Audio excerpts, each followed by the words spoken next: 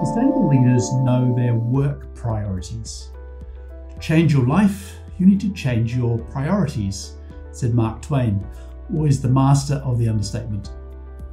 It is, I think, self evident that to change things, you need to change your priorities. But we rarely stop to consider and get caught up in the enormity of the daily challenges.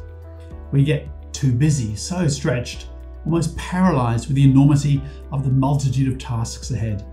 We end up in an unproductive cycle as we react to the noise rather than being proactive and effective. I've had the privilege of leading six companies through transformational change. The task got more and more complex as the organizations I led got larger and larger, culminating in highly complex multinationals.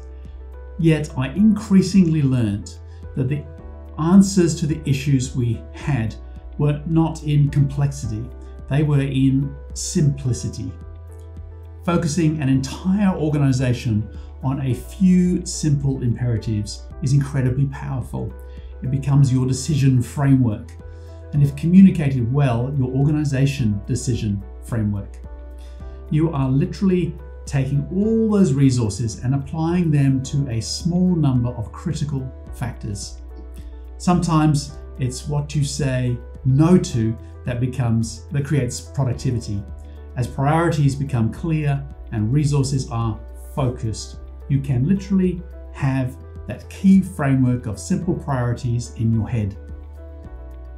You can then filter all the decisions you have to make through a simple set of priorities.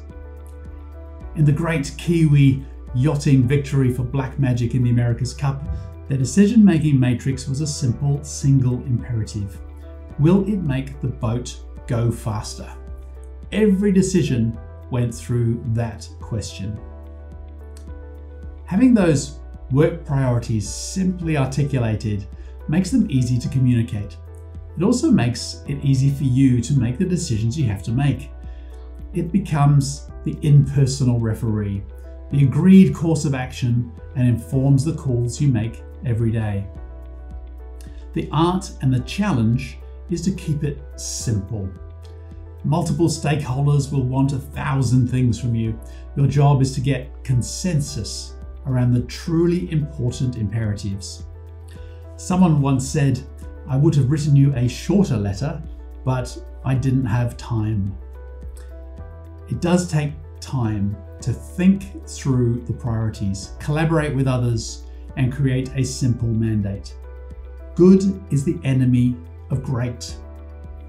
There's lots of good things you can do, but what are the great ones? The ones that will actually make a difference. But when you do have focus, when you have sorted the good from the great, have clarity on what will truly give you the outcomes you're looking for, You'll have your work priorities and it will bring sustainable success.